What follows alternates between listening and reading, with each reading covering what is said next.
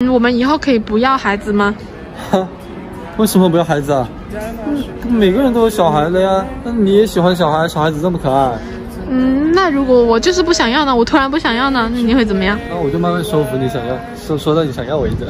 假如我因为身体的原因不能有一个孩子的话，那你会怎么样？为什么突然这么问？你你这个问题我还真没想过。你现在想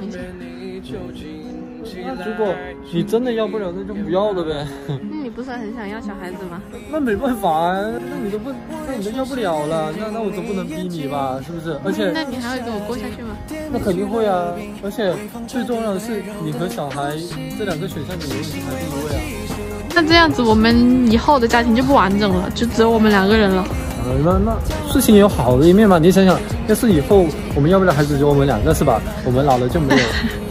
没有那种压力，没有这种后顾之忧啊，然后也不会因为教育的问题而吵架，然后我们就可以一直过二人世界，一直度蜜月到老，太幸福了。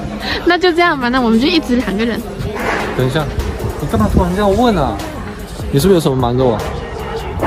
你不用不要这样试探我哦，我没有瞒着你的，我真的没有瞒着你。你有什么你直接跟我说，我真的没关系啊。那重要是你身体不要有事情就行啊。没有，我真的没事，走，我没事啊。我骗我啊！聊个天，我就是想知道一下你的态度而已。